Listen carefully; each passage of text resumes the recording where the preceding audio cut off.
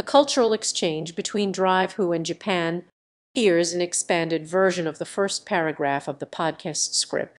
The cultural exchange between Doctor Who and Japan, the beloved science fiction series, Doctor Who, has a long and fascinating history, spanning over five decades. But one of the most unexpected and intriguing chapters in the show's history is its cultural exchange with Japan.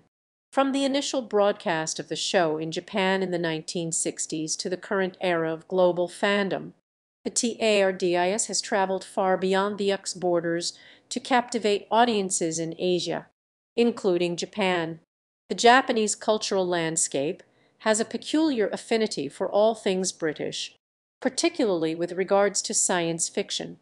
This affinity can be attributed to Japan's remarkable history of embracing Western cultural influences, a phenomenon known as Bitsujiroshi or British invasion, which has been shaped by World War II and subsequent economic interactions with the UK. This exchange has had a profound impact on the evolution of science fiction in Japan, as expressed through various forms of media, from manga to anime, and even pop music. Here's a possible additional paragraph, if the script calls for a more in-depth explanation, why Japan's affinity for British sci-fi matters. One might wonder why this connection could be significant.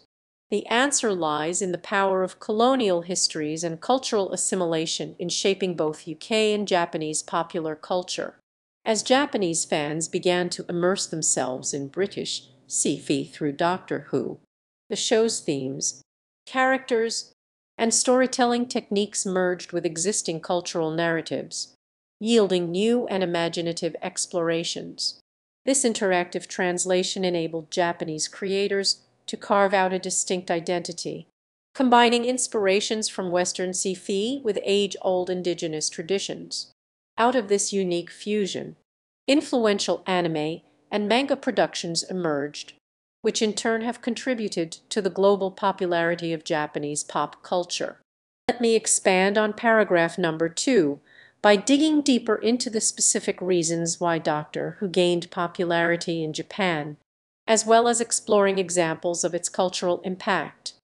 Britain's historical exchange relationships and joint foreign economic adventures as British industries followed merchant initiatives into India in the 18th century through Asia to China in the 19th century and other territories in the subsequent 20th century may have laid the groundwork for the reception of a British cultural product like Doctor Who.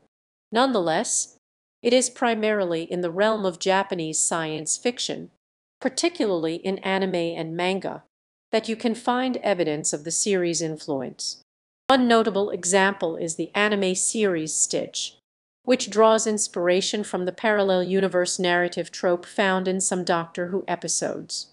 Created by Anno Hideaki, director of the hit series Neon Genesis Evangelion, one may argue that the weirdness of this narrative device introduced in a mainstream anime television drama may have originated in the popularity of the British sci-fi series.